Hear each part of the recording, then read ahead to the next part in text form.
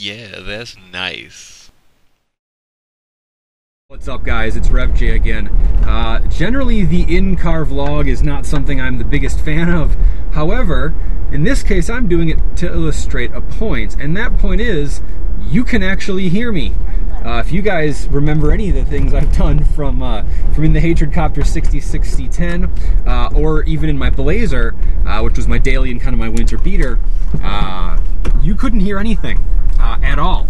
And I was shouting over tires, and I was shouting over all sorts of stuff. And I, I, I still love the 66, and I will be back shouting in that thing hopefully sooner than later. But it was about damn time the Blazer got replaced. I was too big for that thing, just my back was hurting in that seat. It's not a tiny vehicle, but I'm 6'4", it just wasn't the most comfortable. I wanted to upgrade, and I had been looking for uh, a full-size Chevy truck, or a Tahoe, or a Yukon, or, or something along those lines, Escalades.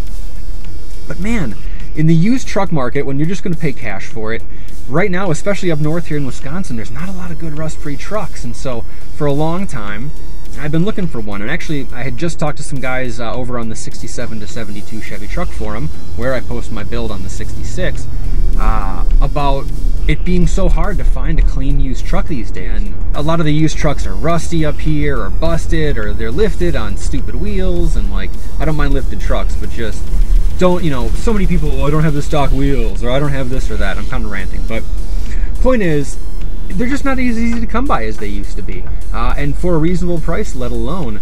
So finally, after a shit ton of looking, uh, I finally bought a new daily driver, and uh, I guess you'd call it a shop truck, although it's not 100% a truck, because what I'm riding in right now is a 2005 uh, GMC Yukon SLT Auto Ride. Basically, it is a loaded ass GMC Yukon. Uh, it's got pretty much every option. Only thing it doesn't have is the Denali package. This has new tires on it. It's got the beautiful GMC 17-inch wheels, leather, power seats, heated seats, adjustable pedals, moonroof. It's got three-row seating, which I'll show you in the back there. I'll take the rear seat out because I'm not going to leave that thing in. Uh, it's got front and rear AC with two separate ACs and two separate sets of controls. It's got the Bose system. Uh, it's got a moonroof. It's just loaded, man. It's got auto ride, which is the uh, air leveling suspension, which generally is not something I would want in a used car, but well, this thing is a special case, man. The guy who I bought it from is a retired firefighter, and he basically gave me service records since like 20 some thousand miles. Sort of light charcoal isn't my favorite interior, it's the real light gray, but man, is it in good shape and it's comfortable, so I really cannot argue with it. Um, they didn't do a black interior in these, coming from the Blazer, there was a black interior, but you know what? In the hot sun, I don't miss it. Did I just slap the camera there? Uh, in the hot sun, I don't miss it, and for as cool as black leather looks, I'm okay without it, man. Got the turn signals in the mirrors, little indicators. Um, every option I can think of on the inside, like I said, it just doesn't have the 6 liter and it doesn't have the Denali grill, but otherwise it is. Oh, I can't remember, were Denali's all-wheel drive? This thing is a regular push-button four-wheel drive, which living in Wisconsin, personally I like. I want to be able to manually turn the four-wheel drive on and go, hey, now it's snowing, now I'm going to deal with four-wheel drive high or now I'm going to put it in four low to get out of a spot or something like that. So uh, in that case, man, it's exactly what I wanted. Ah, is the freeway backing up here? It is uh, apparently the beginning of our new rush hour here, which never used to be, but it is now. Uh, but it illustrates uh, something really well. Again, this thing is comfortable. That auto ride is just silky smooth. Uh, like I said, the guy gave me tons of service records. He actually had the auto ride compressor replaced, so I don't have to worry about that, at least for a while. Um, like I said, it's got newer tires on. It's got the 5.3, but it's got Hydro Boost. So it's got four-wheel disc brakes with Hydro Boost. If you guys follow my channel, uh, you know I rebuilt a Hydro Boost unit. Some people don't know much about them. They're kind of this mystery, but they're not insanely hard to work on. Uh, and I love to have them in this. It's just, it's a really unique braking system. I like the hydraulic braking pressure from it. The steering is nice and comfortable. It's got steering wheel controls. Like I said, it's got the Bose system with the sub in the center console. Uh, I think we'll probably be upgrading that. So I guess it's a good time to talk a little bit about what we're gonna do with this thing. Uh, it's staying black. The front windows are for sure gonna get tinted out to match the rest because you gotta do that, that's essential. Uh, but I wanna keep it fairly simple and drivable. Now, I've said that about every vehicle I've ever owned, and then have them got airbagged and motor swapped. Uh, we're definitely going to put a tune in it. Probably put a video up about that, about how even on a stock vehicle, uh, an HP Tuner's you know ECM tune can net you fuel economy, it can net you some power, it can net you some drivability. Of course, having a good tuner is a big part of that, but that's not an issue for me. Uh, and also a little bit about, you know, we're probably not going to throw an exhaust on this thing. Maybe I'll throw an intake on it, maybe not, probably not, I don't know. It's in such good stock shape that usually I wouldn't advocate for leaving something stock, but as like a daily driver and occasional occasional hauler, uh, it'll work so well. It's got enough power to pull a trailer with the 66 on it if I wanted to. So what else? Oh, it's got the DVD system in the back. I don't know how useful that's going to be for me since I don't really have anyone back there ever and I can't watch it and I'll be putting in a, a unit up here most likely. Uh, but it's got it. Uh, has a full extra set of floor mats, cargo cover. It's got the little stuff in the cargo net area and you know all the little extra weird attachments. Probably end up making a custom grill for it. I really do like the gmc grill better than the chevy grill. However i think there's as usual room for improvement. There's a guy just walking down the freeway. Where are you going bro Okay, not used to that.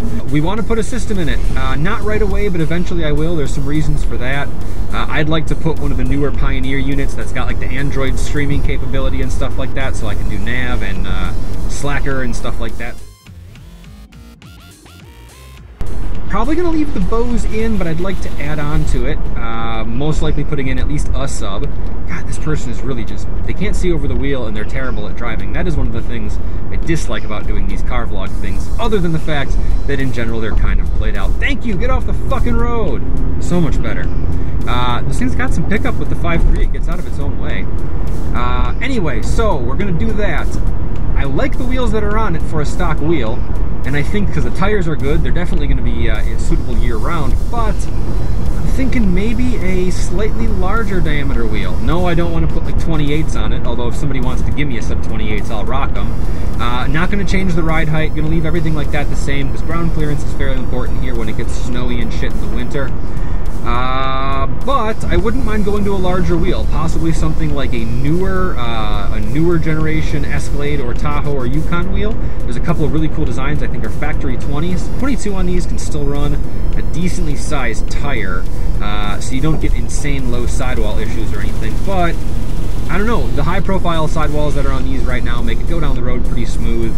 You don't feel a lot of the little shit. You get semi-truck blowouts and stuff here, so something like a 26 would be a little ridiculous. 24, man, maybe with a perfect tire on it and somebody hooked it up on a price, I would, uh, I'd consider doing that. I'll tell you a funny story from this. It's got so many fucking options on it that the first time I was driving it home, I was worried about something leaking. I thought maybe a rear window was down or there was a way the hatch window could go down. But nope, not the case. Uh, I just got the rear AC stuck on because I got separate set of controls and I did not know where they were. I was mentioning how hard it is to find a rust-free Chevy truck like this, especially of this generation. But take a look at the lower door seams. Take a look at the door inners. Take a look at the hatch on this thing. There's no rust. The couple little seams where there is a hint of condensation where rust might want to start, uh, I'll be cleaning those up in a future video and just uh, putting a little either brush on or spray on rust preventer in there just to keep it from happening. This thing is so clean, I really want to keep it that way. That's one of the most important things. But, uh, you know, tint, a system, maybe a set of wheels, that never hurt anybody. I'm speaking optimistically because it's quite possible that I will abandon that and do a bunch of ridiculous stuff with it. But for right now, that's not the case, guys. What do you think? I mean, it's clean as hell, right? Especially for the year. Have you guys been looking for a full-size Chevy or a Tahoe or Yukon? Uh, do you guys have one of these loaded-ass Yukons? What have you done to it? Uh, I've seen some bagged out on huge wheels. I've seen some crazy systems. If you guys are into any of that, let me know. Post up your channel, post up your pics, whatever. You can't post pics on YouTube, can you? Uh, get at my social media. I'll have it here on the screen. Uh, let me say, like I said, I know there's a lot of C10 clubs and Yukon clubs and Tahoe clubs. Show me what you guys have going on. Give me some ideas. I haven't owned a full size like this, uh, not since probably like a 95 or a 96 and not a Tahoe or a Yukon. So, so get at me. Let me know what you think, guys. Like I said, social media is on the screen. Please like, comment, and subscribe. I had to apologize for it being a car vlog video, but considering it's a new car, it's not the worst way to do it, right? Right? Am I getting myself off the hook? I don't know. Uh, this is a rebuild everything video. Actually, if you if you recall my first rebuild everything video, this is a replace everything video because the Blazer is still around, but it's not the uh, it's not the main bitch no more. And uh, and now this is in. I don't know what to call it. I kind of want to put a project name on it because it's sort of a project, but I don't have a good name for it. Let me know what you guys think. You got a good name for it? Uh, that's inviting trouble, I think, but I'll still read the comments. Uh, so that's it for now, guys. I'm rambling, which means it's usually the time I have to wrap these up. Use the hashtag rebuild everything for your rebuild everything projects. What are you rebuilding? Houses, cars, your fucking life? Let me know. Uh, that's it for now, guys. Thanks for watching. We'll see you next time. It's comfortable. Oh, I can almost lay the seat down. I can sleep in this thing.